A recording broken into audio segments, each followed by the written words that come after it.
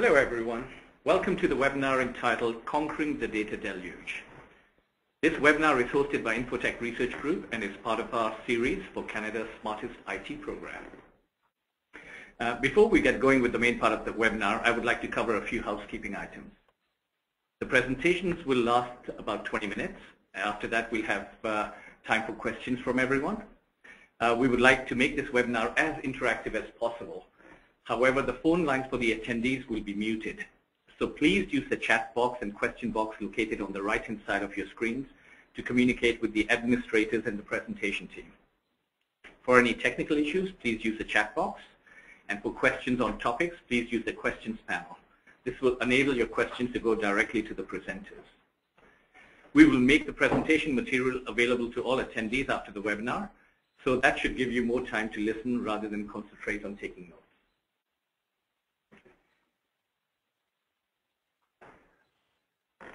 As mentioned, the webinar is part of Canada's Smartest IT program, where we may have many partners and a host of volunteer industry experts like Chris and David to educate Canadians on trends and developments related to their lines of business. We will begin with a brief background and context to this program, which was born out of a study of your peers across the country. Then Chris will share some of the fascinating challenges facing NASA and the fascinating ways in which they are addressing those challenges. After that, David will share his insights developed from helping Canadian businesses evolve to meet the challenges of dealing with and leveraging big data. Most of all, we want this webinar to be useful to you, the audience. So send in your questions as we go through it, and the experts will give you answers as you need in the Q&A session. So I'd like now like to introduce the other uh, presenters on this show. Uh, Chris, welcome. Please tell us a little bit about yourself and your background in dealing with big data. Sure. Hi, guys. Uh, this is Chris Mattmann. Um, my background is uh, I sort of wear a multitude of hats. The first hat that I wear is I'm a senior computer scientist at NASA JPL in Pasadena, California, and basically uh, what I do there is I lead teams of uh, developers that are building open source data management systems for the next generation of NASA Earth science missions, for um, reimbursable projects, including uh, cancer research and informatics work that we have uh, sort of acquired with the National Cancer Institute in the U.S., uh, and various other sort of activities at JPL. At USC, another hat that I wear, I'm an adjunct assistant professor, and I teach uh, two courses, two graduate courses at the university, one in search engines and information retrieval, and another in software architecture. And I've been uh, teaching there for about uh, five years, and I've been at USC for a, a, long, long time because I got my undergraduate and graduate degrees there. I, I love USC. But uh, besides that, I also uh, am a strong contributor to the open source community. Uh, I'm a member of the Apache Software Foundation uh, and have contributed to a number of big data technologies there, including Nutch, Hadoop, uh, Tika, and, and, and other uh, activities. So that's a little bit about me. Great. Hey, thanks, Chris. David, uh, would you please tell us a little bit about some of the work that you've been doing in helping organizations address big data challenges and opportunities, please? Uh, sure, will do, and thanks very much for having me here. Uh, my name is David Corrigan. I'm based in uh, Toronto, Canada, in IBM's Software Development Lab, and I'm responsible for uh, product strategy for a brand called Infosphere, which includes our big data technologies. Uh, in my role, I've had the pleasure of working with dozens and, and even hundreds of clients on big data challenges um, some of them right here in the Canadian uh, marketplace. Uh, so uh, later on in this call, I'll share some of those uh, client use cases uh, and examples of where you can utilize this new technology to, to solve new business problems for your organizations. Thanks, David. So now, actually, as we move forward into the main part of the presentation, um, as you're all aware, you know, these days we're generating more data in more forms from more sources than we have ever before. And you know, statistics from many sources are available that support this view. And some of the ones that I like to use show that you know they give you numbers such as 40 exabytes, that's four times you know 10 to the 19 uh, bytes of unique new information is generated worldwide every year.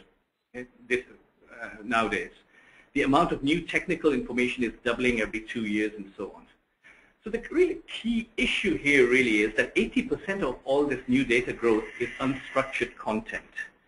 And we're adding new sources and devices every day that create even more data um, from this.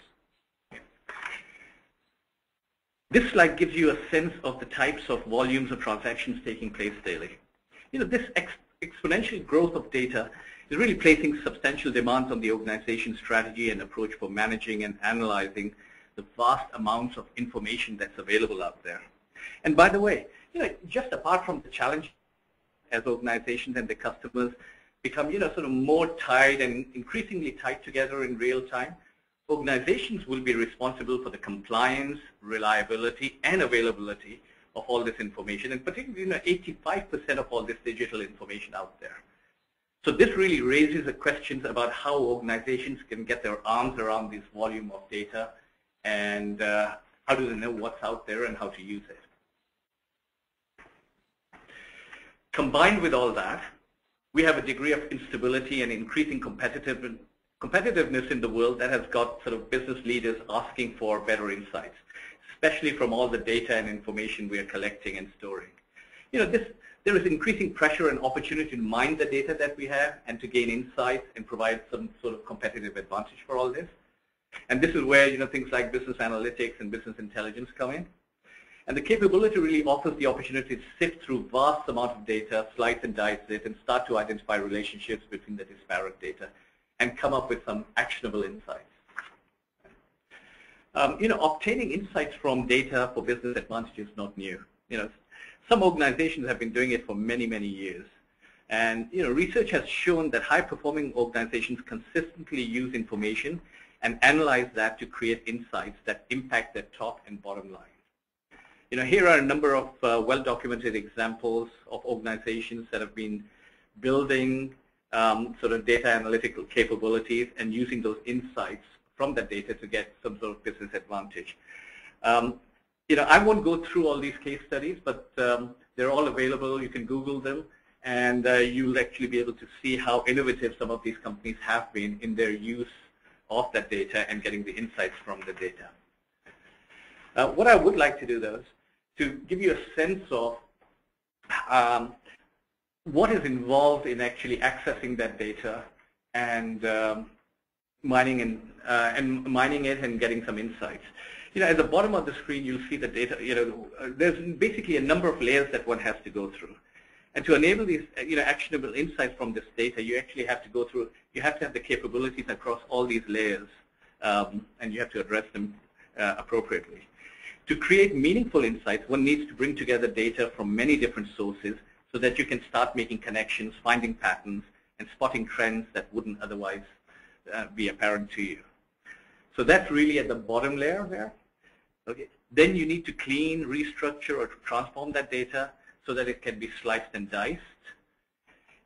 Okay. Data mining engines are then used to really slice and dice the data further to address the business queries and the information is presented in a form that people can really make sense out of it. And there's a whole host of tools out there to uh, of various capabilities and strengths that are out there that will help you actually do that. And lastly, the insights that enable the action at the point of need in the appropriate form and you know, uh, have, have to be uh, sort of made available to the people. Okay. So ultimately, the challenge is really in capturing, organizing, and managing the data to create business value. I will now ask Chris to share some of his experiences in how NASA approaches the challenges of collecting, processing, using the vast amounts of data, and how they create value out of it. So over to you, Chris.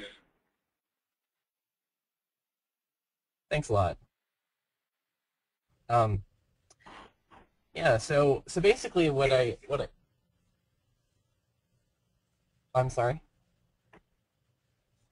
Yeah.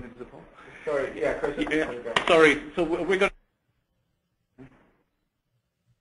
I like it real time. in real time. That's it. So everyone, you're going to see some questions on your screen, and please choose one. And we will wait a minute before we present the results.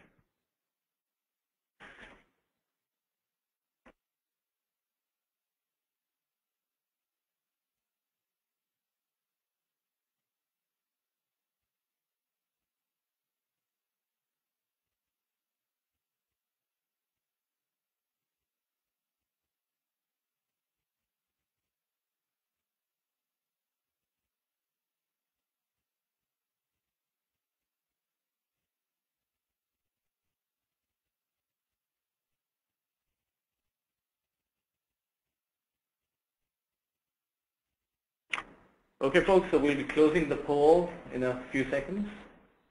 Results on your screen now. So it seems the major point, point, pain points are the complexity of the applications, and I would assume the lack of integration of the systems that you have out there, and just basically handling the large amounts of data out there. So this actually is a great segue to for Chris now. Um, so Chris, if you could share some of your experiences in how NASA approaches these challenges in collecting the data and uh, mining it. No problem at all. Uh, thanks for handing it over. Uh, so yeah, so now let me uh, put on my face here. um, so actually, those those poll uh, those poll questions were, were really appropriate, at least for um, the the types of challenges that we're dealing with at NASA a lot. And specifically, I think that the challenges I'll talk about here kind of deal uh, a lot with the explosive data growth, which I was happy to see, you know, sort of pulled well as sort of a pain point, as well as um, scarce IT skills, and I'll try and touch on them sort of right now. So when, if you came to me at JPL or NASA and you asked me, you know, well, what are what are the issues that you're dealing with? I could come up with about four. In fact, I did. That's what's on these slides right here. the the first thing that's sort of really interesting to me is a project, um, an international project that we're involved with uh, called the the Square Kilometer Array. Um, it's an uh, astronomy, radio astronomy instrument, uh, and it will have sort of a deep impact in the astrophysics world. Uh, the SKA is the next generation instrument that they're building uh, they'll either build in one of two places or perhaps in a multitude of places, but the two main sites they're looking at to build it right now uh, are Australia and South Africa, and their countries and ministries are investing a lot of dollars in, in basically trying to figure out how to build this next generation instrument. The, the dishes uh, that they're going to put uh, down in one of those sites will eclipse over a square kilometer of, of actual area. So it'll be huge uplooking dishes that will image the sky like never before. And like never before means uh, lots and lots of data that are being generated. In fact, some have estimated that it'll be at a clip of about 700 terabytes per second when they actually build it, which is why uh, many of the uh, science uh, ministries and people that are doing research in computer science uh, and data intensive systems, hardware, uh, they, you know, we don't even have the technology right now or, or even the theoretical understanding of how to deal with that how to deal with 700 terabytes a second coming off the wire. Um, and then when you start talking about having to keep that, that information around, because of course, uh, you know, astronomy uh, and long-term research folks uh, are moving away from sort of a uh, principle of the the sky as the archive into more of a hey, if I keep all this data around, I can keep researching it. I can kind of keep trying to data mine it and, and understand sort of what's there. It's really interesting in that. A lot of uh, the second bullet. A lot of times, uh, what will happen to me at, at JPL or whatever, someone will come to my team. Um, this happens with our external collaborators as well. As well, it, it'll be like Joe scientists, and they'll come to us and they'll say, "Hey, you know, we've got." We've got uh, some type of algorithm, some type of analytics, uh, you know, that we're doing on this data set. It could be a remote sensing data set uh, generated by, by, one of NASA's uh, large number of Earth science remote sensing missions. Could be a planetary data set. Um, uh, could be a data set for uh, pediatric intensive care. And what they'll do is they'll say, look, we've been researching this. We've been building scripts in MATLAB, in R, or in IDL, some interactive, you know, type of data analysis language. And you know what? I don't want to change those scripts. But, you know, I've got an issue. I need to run a decade's worth of data through it, um, uh, through these scripts. And I need it done like next week because I'm writing a paper and I need the data around for that paper. and I need to figure out and do my analysis on it. And it would be too hard for me to kind of develop my own sort of piece together, uh, you know, group of software to do this. And so we get that question a lot. Uh, for example, a recent area that we got, it was on Western Snow Hydrology Project with Dr. Tom Painter for the National Climate Assessment uh, contribution that we're making from NASA. And, uh, you know, I will talk in sort of the next slide about uh, some some of the some of the ways that we're approaching and dealing with this technology-wise. But that's just another challenge, and uh, and I would actually sort of chalk that up too to sort of the delineation between the science, or at least the physical and natural science community that you see a lot, and the IT community, or the people that are doing computer science.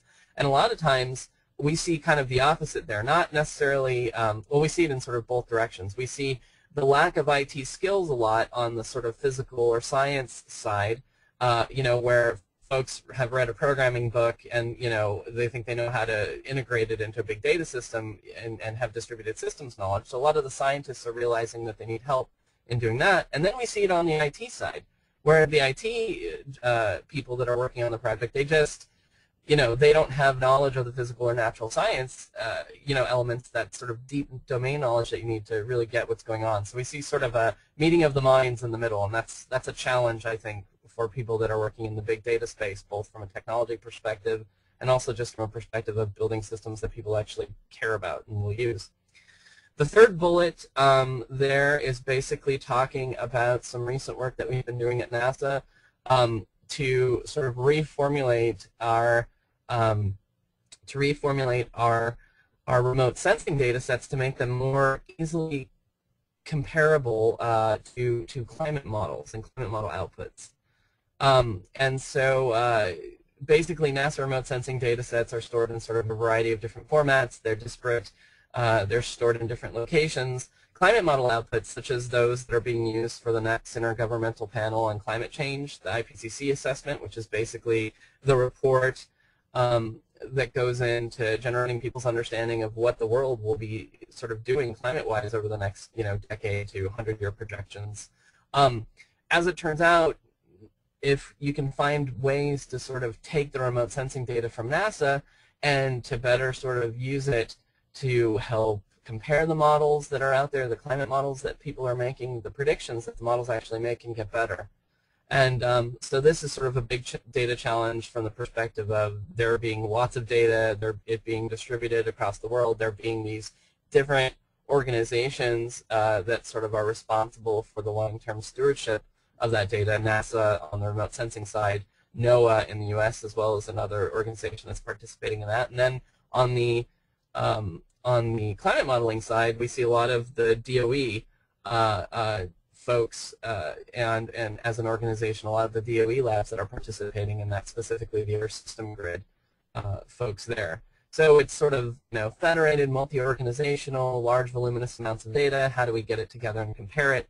That's another one of the big uh, data challenges that I'm interested in. And then finally, we've had this problem for a long time uh, with respect to the planetary, but you know, how do we how do we catalog and archive all of NASA's planetary science data? It's being done right now through NASA's planetary data system in a largely distributed fashion, um, uh, basically broken down by science discipline, sort of distributed nationally throughout the U.S. at universities and at various NASA sites.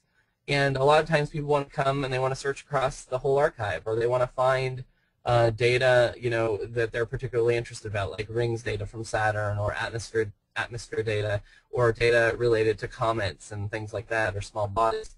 And um, so what they'll do is they'll sort of try and come to some initial clearinghouse page and then they'll get down into the actual sort of uh, domain specific or data specific uh, you know information and then it'll be sort of a challenge for them to figure out well where do I go from here how do I how do I process or mine this information? What should I do with it? And a lot of that has been sort of de developed in a domain-specific or distributed way. And so we're trying to think of solutions to sort of better engineer that uh, and to better sort of provide the ability to sort of see what, what information is out there across NASA's planetary data system across all of their archive. So see, these are some of the challenges that I'm interested in and some of the challenges that I think are representative of what people have to do in the big data space uh, nowadays. You can skip to the next slide. Um, so some of the, I don't want to present problems or challenges without talking about answers. um, the answer that I've been primarily involved with over the past 10 years has been the development of a technology called Apache OODT.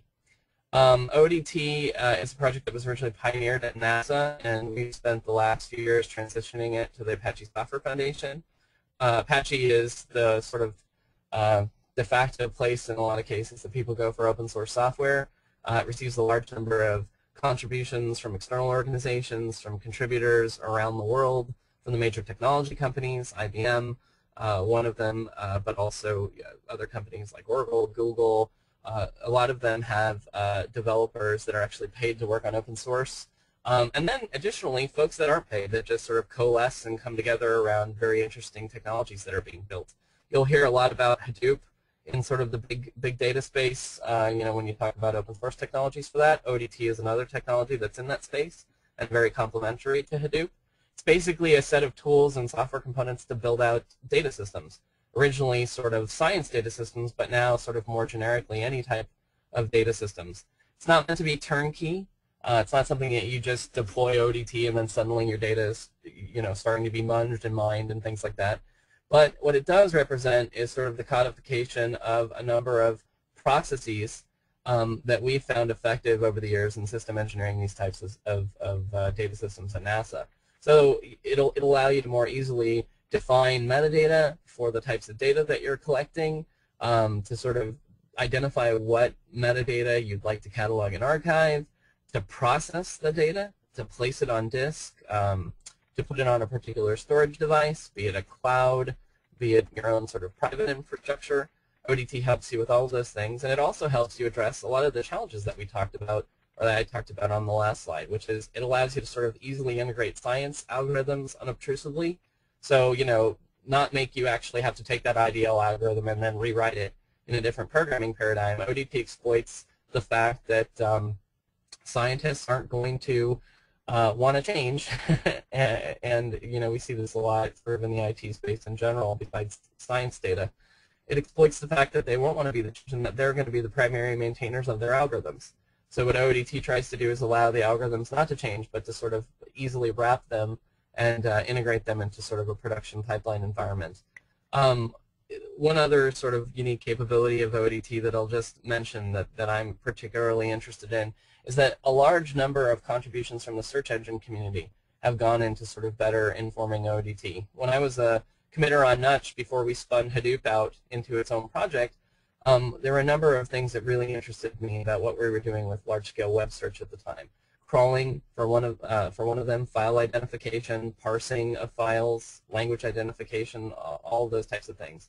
So eventually, we spun out some of those capabilities into a project called Tika, which is a technology, big data technology you might hear about for content detection and analysis. And a number of the properties of Tika and the abilities of Tika have been integrated into OODT um, to allow sort of files to get automatically crawled and archived, for their metadata to be extracted, um, for that information to make files more easily available for search, for integration with other sort of downstream toolkits like MATLAB or R for analysis, for integration with GIS systems, and a number of other things. So OODT uh, is being deployed operationally not just at NASA, um, but at a number of other organizations. Uh, we've used it uh, with our work on the NASA Earth Science missions, the next generation decadal ones, but we've also used it at the National Institutes of Health and the National Cancer Institute. We have a number of projects there, uh, specifically the Early Detection Research Network, where we're using OODT to build out sort of federated data systems to help share information for scientists, uh, all the way to sort of lab analytics systems to help them capture uh, information as it's coming or streaming off of the actual instrument, uh, like mass spectrometer and so forth. Um, other folks that are contributing include universities, uh, uh, children's hospitals, and so forth, specifically Children's Hospital Los Angeles. Astronomy community has been adopting it with some of our work on, on the SKA effort, specifically South Africans. Um, and then the sort of final thing I want to touch on is just in general, whether it's OODT or not, or, or whatever you know type of technology you're using to do big data management, um, I'd encourage you to go look in open source, and I'd encourage you to go look uh, at Apache. And why? Well, Apache is the place where the projects that are there are sort of actively maintained and managed. There's a governance process associated with it. A lot of times you'll go to SourceForge or Google Code or whatever, and there's 160,000 projects there. And you're not exactly sure sort of how active those projects are or what's going on. A lot of times responsiveness is sort of a measurement of the health of the community. Well, Apache sort of has an active sort of triage process and an active process for curating and making sure their communities are health. Less than 100 projects basically live there.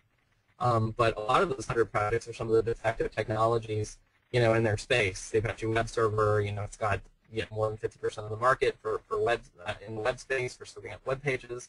Tomcat, one of the de facto technologies for J2EE, um, Solr and Lucene, some of the de facto search technologies, and Hadoop, you know, which you'll hear about sort of when you think about big data. And uh, you know, again, it's Apache differs from other open source communities. It's, it provides sort of a structure for active growth. So when you're thinking about your big data uh, technologies and solutions, uh, you know, don't don't necessarily think about um, locking into a particular vendor. Have sort of an open mind and an open hat. And if that turns to open source, I'd encourage you guys to look at Apache. It's something that um, I think we found particularly effective, uh, at least in JPL and NASA. And I think that's it. Great. Thank you, Chris. It's um, always fascinating to learn what NASA is doing, not just at the frontiers of space, but also the frontiers of IT there. So um, actually, looking at the time, we'd like to now move on to uh, David and ask David to share some of his insights um, uh, in dealing with big data. Perfect. Thank you. And that was fascinating stuff from Chris. Uh, the first thing I'll, I'll say is, is, certainly we agree that the Apache open source distribution is, is really a great place to start and a foundation for uh, what a lot of people are, are, looking at as big data. Uh, I'll cover this on the next slide, but the notion of big data is first and foremost a type of data and a problem set that organizations are, are facing. Secondarily, we'll talk about the technology that needs to be applied, and certainly Hadoop's part of that mix, but there are other technologies uh, as well.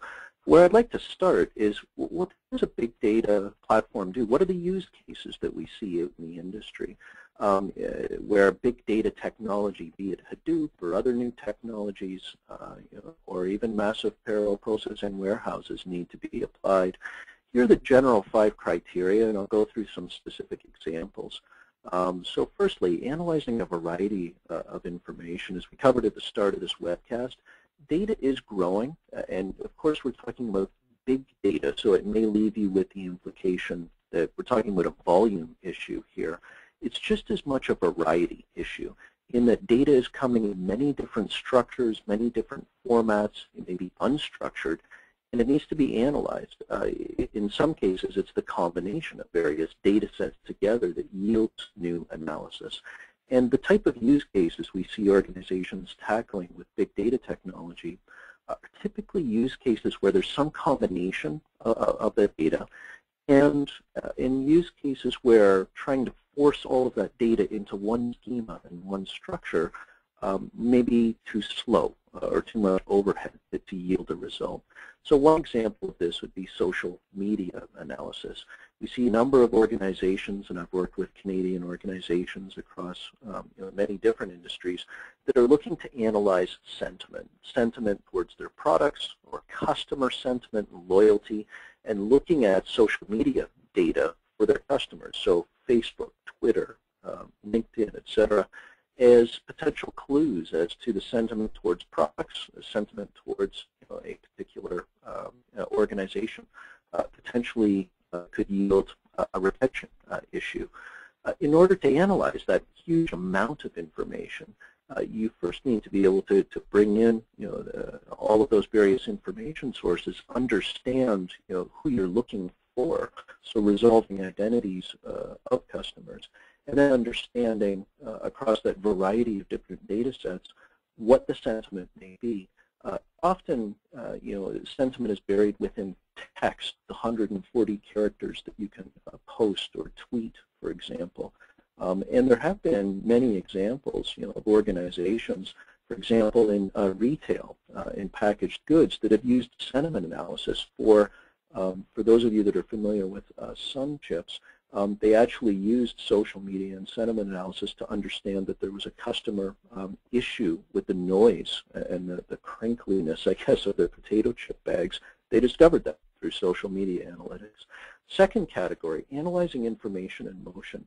Uh, Chris talked a lot about large volumes of data and how much of that data was, was coming off the network uh, each day.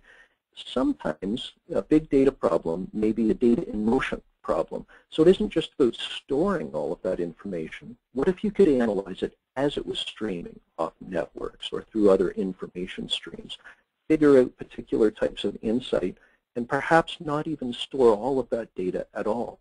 A particular example and one close to home, we've worked with the University of Ontario uh, Institute of Technology, and uh, they have a, uh, a, program in place uh, using IBM's technology for streaming analytics uh, which they've placed into uh, several hospitals um, around the world, and as well as uh, Sick Kids Hospital uh, here in Canada, for neonatal analysis. So analyzing streaming information for various, um, you know, patient monitors, EKG monitors, etc., correlating that information, and by doing so, having the ability to potentially detect issues uh, with patients up to 24 hours earlier and intervene uh, for positive outcomes. A very powerful use case. Uh, another driver, of course, for information and motion, and in fact some of the government agencies that we've worked with, if you think about things like video surveillance, et cetera, when uh, the volume of data that you need to store, let's say you're doing video surveillance, quite a bit of it, it is a, a, camera shot of nothing. Uh, you only need to actually start recording and analyzing when there's something happening or there's something moving on the screen. Um, so analyzing the data in motion to even know when you want to do further drill down analysis, uh, another use case uh, that we've seen for information in motion. We've seen it in the commercial sector as well with telecommunications companies doing real-time call detail record analysis and they'll know you're a valuable customer and we dropped one of your phone calls, let's send you a note and a retention offer or some kind of discount uh, about that. Uh, Chris did a very good job of talking about analyzing extreme volumes of information, and of course that's that's a big part of big data. That's why we call it big data. It isn't just about volume. That's why I started with the other two, but certainly that's a big part of it. Um, you know, another example, and, and the way I've seen most organizations characterize this is when you can get a better answer by analyzing more data. So if you look at things that you're doing today, talk to Canadian banks, for example, about uh, risk management and fraud detection. Often they use subsets of data in order to detect that. Could you get a better answer if you used all of the available data? That's a potential use case for this big data technology. We've worked with a wind turbine manufacturer called Vestas, does the exact same thing. They uh, offer a service to utility companies to help them place wind turbines for optimal location. And that isn't necessarily the windiest spot from a maintenance point of view. Uh, using um, you know, traditional technologies, they were able to have a precision in the uh, one to five square kilometer range by analyzing all of the data using big data technology that they had available, which is, is now growing to six petabytes of information, they're able to get that down to about 10 square meters. So an order of magnitude better uh, answer. A final uh, use case I'll highlight is discovery and experimentation. What if you could take the data you have in traditional structured systems and potentially experiment or see if there's new uses for that data? Again, I've seen quite a bit of this within financial services and taking traditional structured data and looking to see if there's some new use for that information. And often that yields new products or services. So for example, by mining through transactions, could I start to understand as a bank, uh, give another financial services example, uh, how some of my customers stack up against other customers and even offer that as an informational service or maybe even a for-fee service to say, if you'd like to know how you stack up against other customers who are similar to you, then we can offer that to you as a service. Now let's go to the next slide and we'll talk a little bit about what does this mean from a technology implication. Um, the first point I'll make on this slide, um, and really the overarching point, is big data is not a silo. It is not a single technology. Um, as much as there's a lot of press around uh, Hadoop, um, you know, which, which Chris mentioned as well, big data is many technologies, and we think of big data as an ecosystem or a platform. Certainly Hadoop is part of that, and, and we're you know, contributors to and, and supporters of the open source uh, Apache Hadoop movement. There's many things that we've added uh, as IBM on top of that, you know, to help make that, um, you know, enterprise strength for some of the use cases that I just discussed. Stream computing is another component of this. Uh, stream computing being a technology that uh, IBM developed, um, you know, stream computing and analytics. Uh, data warehousing is also part of this. Uh, structured data can be large. Um, massive parallel processing warehouses absolutely uh, are big data technology and certain use cases require structured uh, information analysis and integrating that information across um, all of those various systems and from various sources is part of uh, big data and the big data platform as well. Of course, surrounded by and complemented by common application development and systems management and the typical enterprise class type of things that you would uh, expect. And when you think about big data as an ecosystem, think about the analytic applications uh, that will be using this as well. And that's very important in taking this from you know, a niche and beginning technology into something that's mainstream. If we're talking about customer sentiment analysis, what's the functional application that marketers will be using to understand that? And it's the analytic applications, uh, some of which you know, IBM develops with Cognos and SPSS and others, and quite a few of them are contributed by our partners. Um, think about it that way. Those are the entry points into these big data technologies and, and very much you know, how to utilize uh, these big data technologies uh, to generate insight um, for your organization. So big data, don't think of it as one technology. It's many technologies and really an ecosystem. Uh, and also think about those use cases. Uh, that would be my, my main advice. There are many different types of uh, use cases that you can address with big data. Um, think about the use case first and then the application of technology uh, to follow. Thank you. Thanks, David. Uh, thanks for that uh, very useful insights and advice there. And one of my big takeaways was the framework that you provided to think about big data and not just to think in terms of the technology or single structured areas, but think of the whole holistic view uh, across the, uh, the big data sources and platforms. Um, we have, I, I, know we've gone over a little bit uh, of our allotted time here. However, for those of you who want to remain uh, on the line, we've received a few questions that we'd like uh, to put to our uh, presenters to answer. So uh, for those of you who are unable to stay on, we will be sending you an email later on with a link to the presentation. And there will also be a recording of the presentation on YouTube uh, that you can access. Um, I would like, the first question is actually for you, Chris. Um, has there been any work with OGC web service standards to integrate GRIB, that's G-R-I-B, NetCDF, and other climate meteorological data, for example, using tiling service, coverage services, etc.? Wow, ask an easy one to start out with. I'm just kidding. Um, yeah, you know, some of the work actually uh, that, that we've done in in the area I'm, I'm aware of is um, uh, there's there's a lot of great work that's going on in in the NetCDF community um, at Unidata at NCAR. We work with them at NASA a lot, specifically technology-wise. Um, uh, the NetCDF Java library is something that I'm intimately familiar with, and I've been trying to lead an effort to integrate um, the NetCDF Java library, which understands HDF, various formats of it, and then and NetCDF science uh, data formats into the Apache Tika library because Tika, I you know, not only is it a niche I like to scratch, and I was one of the co-progenitors of it, but it's just it's I think the right place for that type of technology to go. And what Tika will do is it'll take those files and decimate them, and basically extract out the text, uh, you know, and the science data as well as the metadata from them using the NetCDF Java library.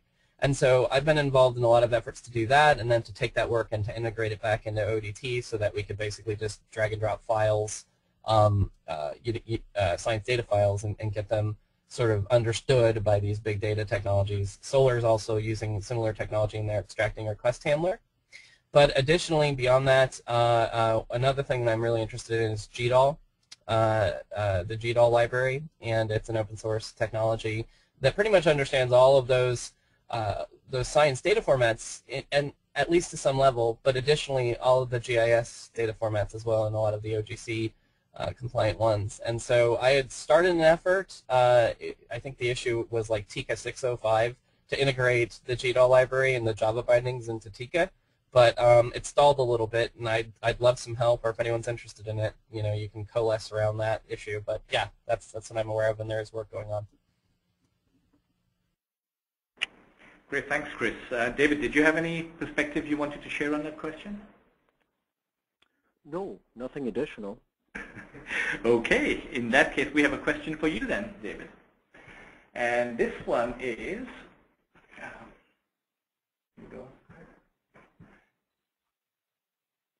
Can, can lessons learned in big data be used for metadata extraction and streaming geospatial analytics, brokerage services, e.g. data and web services, using OGC standards to support applications in health, energy, or climate. What is the maturity of big data systems for these use case domains? Wow, yeah, your audience certainly gets right to the heart of the questions, don't yeah, they? they, they know Um, their stuff, huh? Yeah, they certainly do. Let me see if I can extract some parts of this. the, fir the first part of the question that I took was, are there some best practices around metadata and extraction, and what do you see in, in the big data world?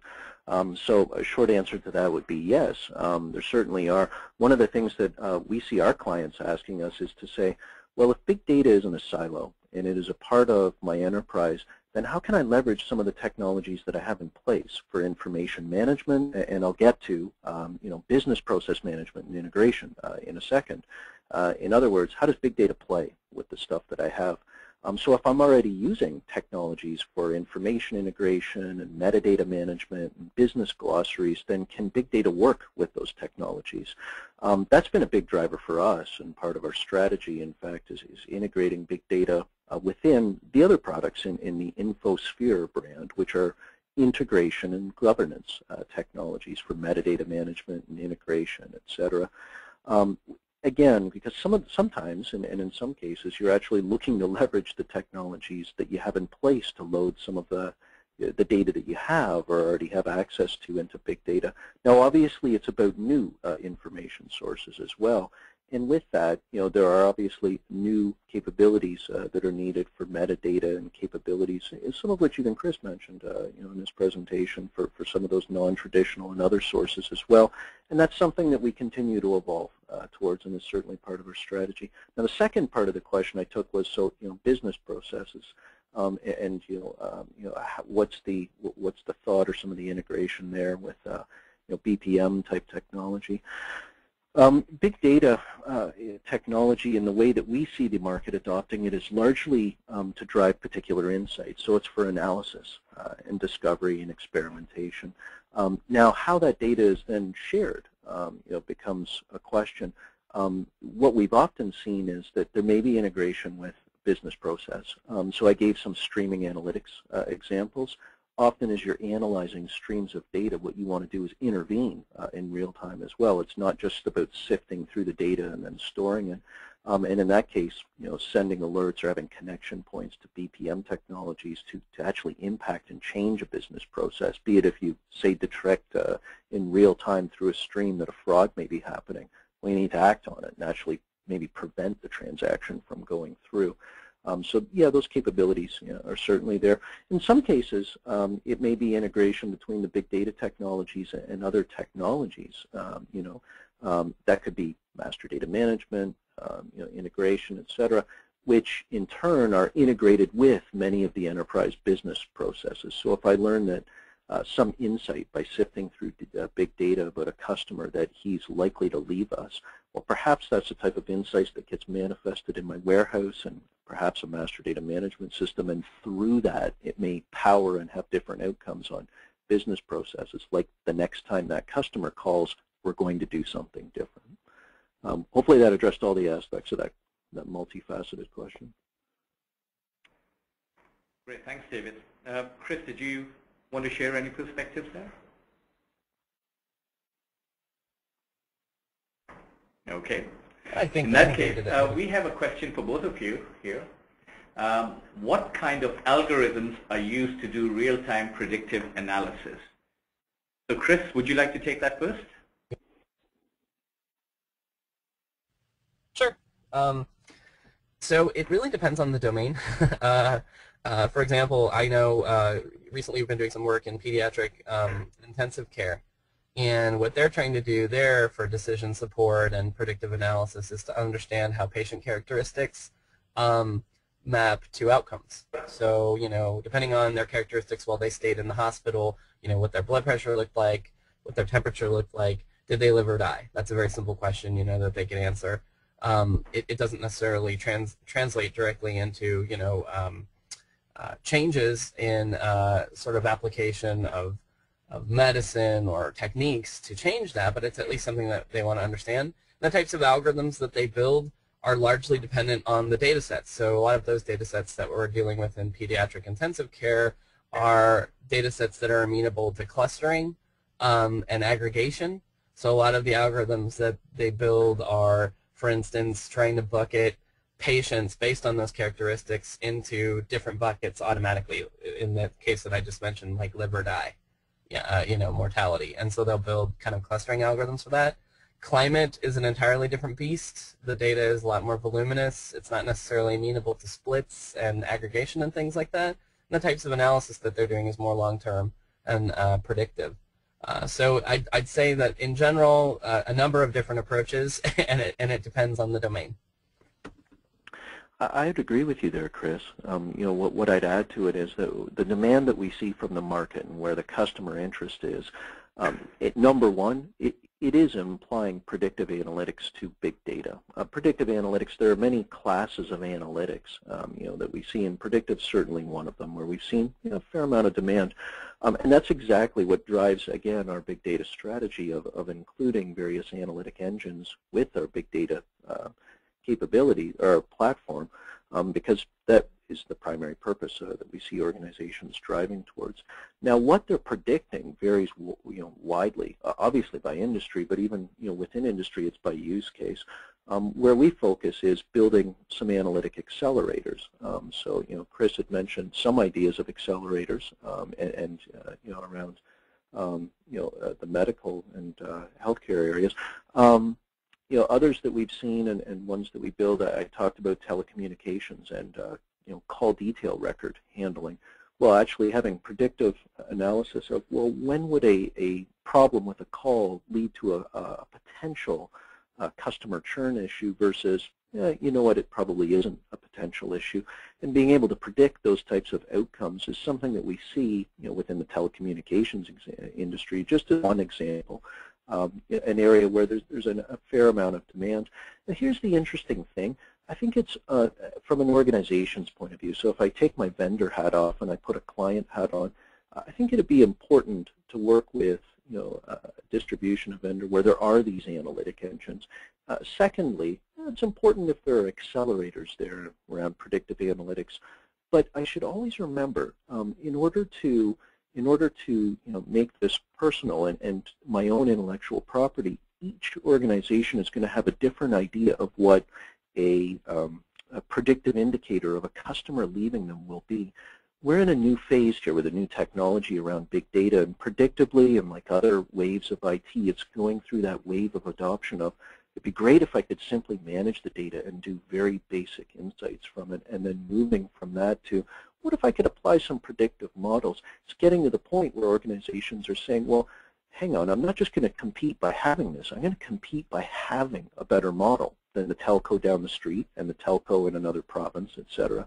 Um, so it's always important for organizations to remember the tooling and the ability to tweak those algorithms themselves is just as important as the technology because ultimately those things are their own intellectual property.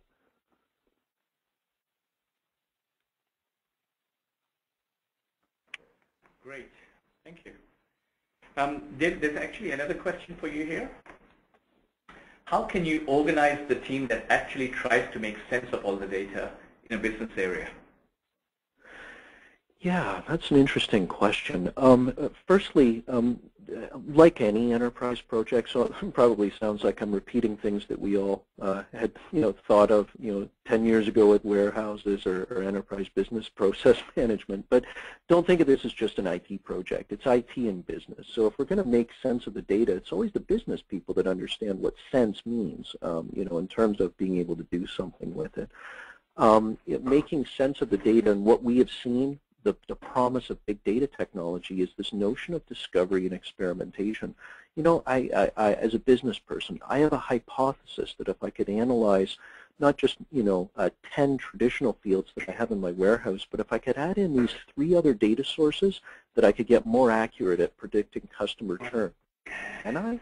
Well, you can use sometimes big data technology to, to prove that hypothesis and to discover, well, what new questions can I ask um, from a business point of view? Uh, the second thing I'll mention is from an IT perspective, we've seen a rise in a role called the data scientist. Um, so someone who understands the data, obviously it's an IT person, but they have a very good business acumen and they work with the business to drill down and understand the correlations uh, you know, within the data and you know to essentially prove those hypotheses. And yes, there is an advantage to combining data in these various ways. All of this does have a technology implication as well. And again, it's something that drives our product strategy. We must be able to visualize and experiment uh, with this big data as well. It's not just a platform for, for processing it, and, and it doesn't have a face. It has to have a face. Uh, and it's the face that, uh, you know, with this visualization capability that big data, or data scientists, excuse me, um, know, would use uh, to work with the business and understand what new questions can we ask. Thanks, David. Um, Chris, we have a, we've actually received a number of questions that are similar in nature, so I'm going to combine them together for you. Um, how do you describe the data scientist's role at NASA?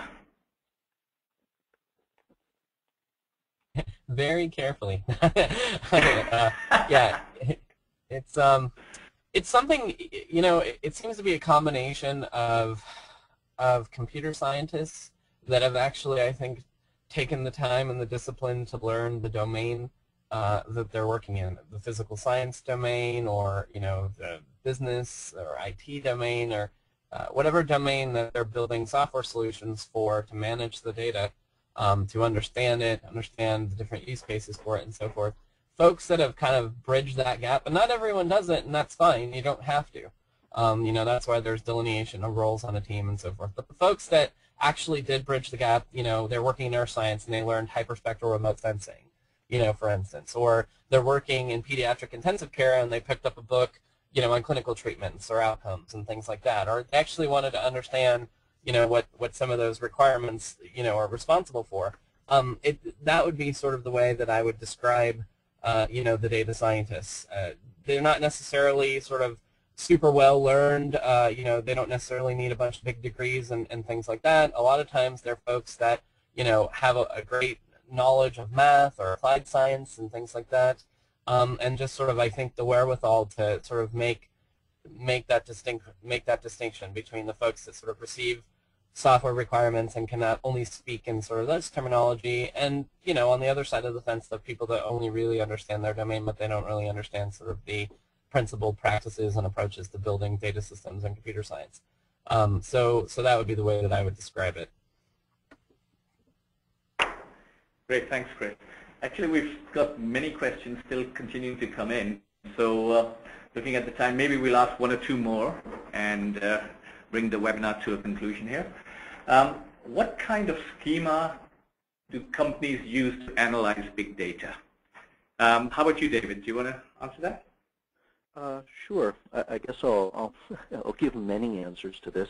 Um, firstly, if we're talking about um, a variety uh, use case, where we're trying to analyze a variety of information and some of the technologies that we mentioned, so uh, open source Apache Hadoop and some of the capabilities that uh, my team is responsible uh, for developing on top of that, the main point is this. You don't need a schema. In fact, that's the primary advantage of these Hadoop system technologies um, is that you can analyze a variety of information without enforcing a single schema. It's therefore really, really good at certain types of use cases where you want to discover an experiment, where you're analyzing a variety of information that can't be easily or cost-effectively converted to one schema. Um, and it allows you that freedom uh, of analysis across those various you know, data types. So uh, to put some real examples on this, you know, we have customers that are analyzing information that's coming out of structured information uh, around their customers, excuse me, like data warehouses and, and uh, master data management systems, and combining it with uh, documents and PDFs and, and doing deeper relationship analysis on things that were uh, uncovered through text documents and then combining that back into you know, a structured system for further analysis. That's the type of, you know, that's one way uh, that you could think of you know, big data technologies. The same applies to uh, streams and, and um, streaming uh, analytics. We're analyzing a variety of information. Um, and in fact, the ability to, to, to analyze multiple types in their native format, so again, not converting it down to one structured relational system for analysis, that's That's a big hallmark of big data, and it's something that organizations are becoming very, very attracted to, the notion that this isn't just some way of pre-processing things and then ultimately putting it in a warehouse. You can perform the analytics in motion or on the variety of data in its native format. And that being said, there's lots of use cases out there where you do want a schema and a structure and all of the, the, controls that that brings you know, with, with warehousing. So you're managing, planning, and doing repetitive tasks over and over, monthly reporting. You want the controls and structures uh, of a data warehouse system. So uh, think back to those use cases in that slide that we covered, and, and that, again, helps to be a very good key and a legend for well, what technology or technologies do I need within that big data ecosystem. Great. And uh, Chris, um, any perspective from NASA on data schemas for big data? Sure. Yeah. Um, I like sort of what David mentioned. You know, when he said uh, a lot of times with technologies like Hadoop, you don't need any one particular schema uh, because it kind of supports very flexibly, flexibly a lot of different types of data. Um, I would add to that that a lot of the domain-specific sort of science use cases do um, sort of center around the development of schemas. And what you find a lot is in technology development is that a lot of times you're trying to be domain agnostic. So Hadoop, OODT, these, these, these sort of broad open source big data technologies, what they try and do is they try and say, well, look, we provide generic data management services independent of the domain.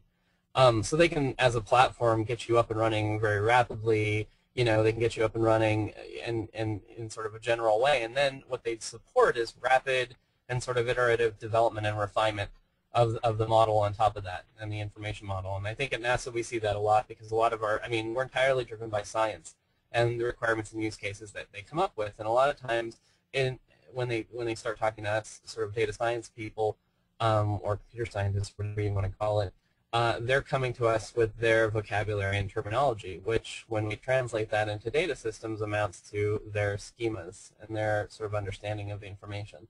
So as big data people and technologists, I think we need to be flexible and to build sort of generic ways of, of dealing with that and build technologies that can do that. But from a NASA perspective, um, the schema is extremely important and it's something that um, we, we can't get away from. There's just a lot of them. Great. Um, thanks very much, both Chris and David, for a very informative uh, presentation there. Uh, we're coming to the uh, top of the hour here, so I think we'll uh, call it a day for this webinar. I'd like to also thank everyone for attending the webinar who's still on the uh, on the call so far, and there are quite a few of you still there. Um, as I stated at the beginning of the session, all attendees will have access to the presentation material um, you will receive an email with a link to the material in about a week to 10 days from now, and you'll also be able to download the presentation yourself from that link. Um, the full presentation will also be posted on YouTube, and again, the link to that will be included in the email that you will be receiving. So uh, once again, thank you to everyone for attending this webinar. Uh, we look forward to uh, seeing you on the uh, other webinars that we've got planned, and we'll be signing off now.